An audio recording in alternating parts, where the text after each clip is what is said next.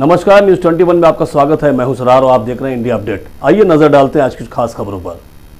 Surguja police का cyber अपराध के विरुद्ध ऑपरेशन साइबर क्लीन लगातार जारी। ठगी के मामले में बिहार शेखपुरा से एक नाबालिग सहित नौ अंतर्राष्ट्रीय ठग गिरफ़्तार।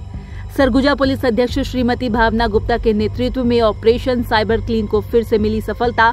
लाखों रुपए के इनाम का झांसा देकर ठगी करने वाला बिहार का अंतर्राज्य गिरोह शेखपुरा से गिरफ़्तार। बिहार में 48 घंटे कैंप कर आरोपियों को गिरफ़्तार करने में टीम साइबर क्लीन को मिली सफलता। मीशो कंपनी के नाम पर 25 लाख का इनाम दिए जाने का झांसा देकर कुल राशि चौवन लाख तीन हज़ार पाँच सौ अस्सी रूपए की हुई थी ठगी। साइबर सेल सरगुजा और सीतापुर पुलिस थाना की संयुक्त टीम ने दिया ऑपरेशन को अंजाम।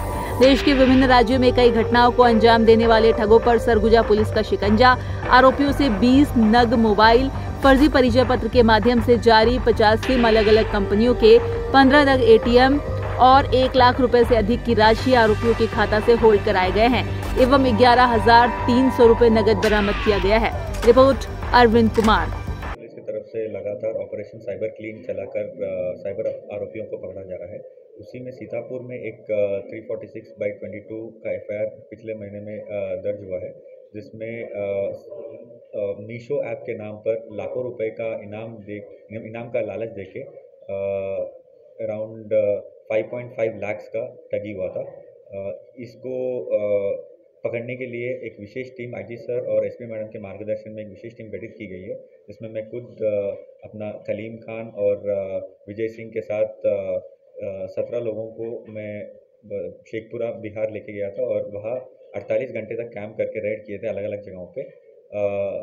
नौ लोगों को हमने गिरफ़्तार किया उसमें एक नाबालिग भी था और बीस मोबाइल और पचास सिम कार्ड पंद्रह एटीएम और लगभग ग्यारह हज़ार के आसपास नगद बरामद किए थे और कुछ सिम कार्ड पचास सिम कार्ड के आसपास हमने टे, टेलीकॉम कम्युनिकेशन मिनिस्ट्री को लिख के उसको